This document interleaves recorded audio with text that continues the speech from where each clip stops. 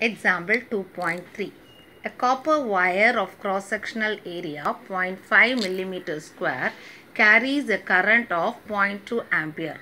If the free electron density of copper is 8.4 into 10 raised to 28 per meter cube, then compute the drift velocity of the electron.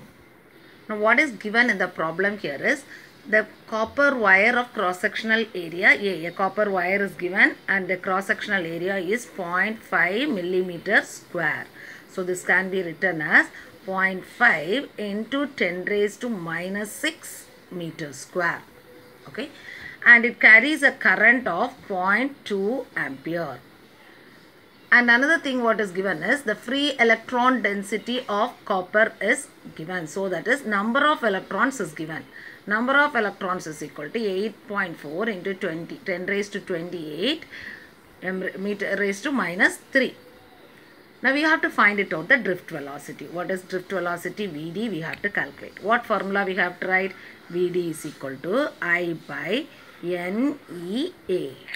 Okay, now I can substitute n value, uh, I value you know that is 0.2 divided by n value is 8.4 into 10 raised to 28.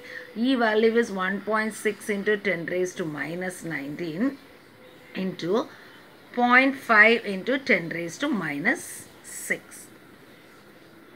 Okay.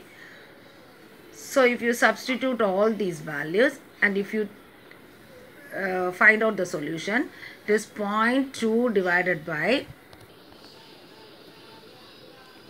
6.72 into 10 raised to plus 3. Okay. So if you divide 0.2 by 6.72, you will be getting it as 0.03 into 10 raised to minus 3. Now drift velocity is having the unit meter per second.